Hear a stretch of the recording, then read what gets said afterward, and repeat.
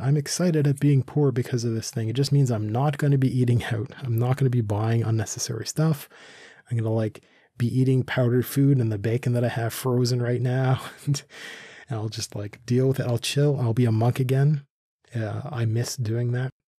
Um, yeah, that I changed a lot of the way my accounting works and I gave myself probably too much money. So I need to go back to being my my old, more frugal self because I think I lived a I think I live a better life when I'm when I'm not excited about buying stuff constantly.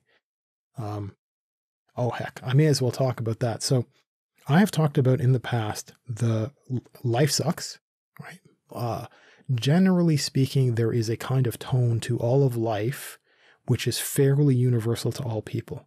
And there's this weird thing where it's like if if you win the lottery, you uh, you become an amplified version of yourself.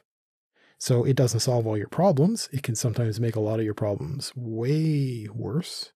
It's like if I were to give a whole lot of money to somebody who's an addict, um, that might actually have them overdose because now they'll splurge on that. Right. So, so money is a kind of a, a weird thing.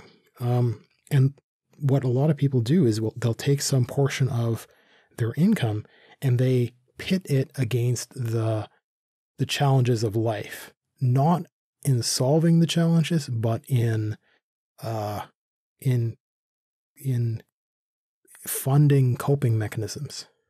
So, for example, uh, food is a is something like a coping mechanism for the for the difficulties, right? So, a lot of people will, because I've talked about this before. Unfortunately, a lot of people that are poorer actually spend more on luxury goods as a way of of coping with how difficult life is when you're poor. So they'll tend to eat out uh, junk food and stuff like that more. And sometimes there are, there are there are actual legitimate reasons for doing that.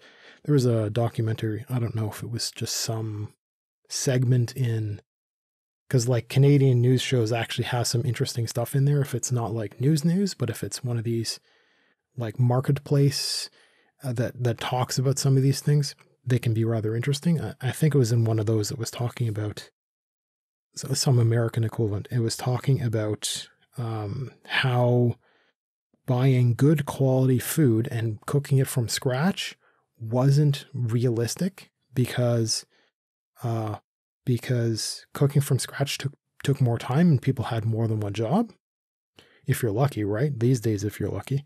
But the the, the people being kind of followed, interviewed, talked about not having enough time, and it was actually more expensive than going and buying breakfast at McDonald's for the family.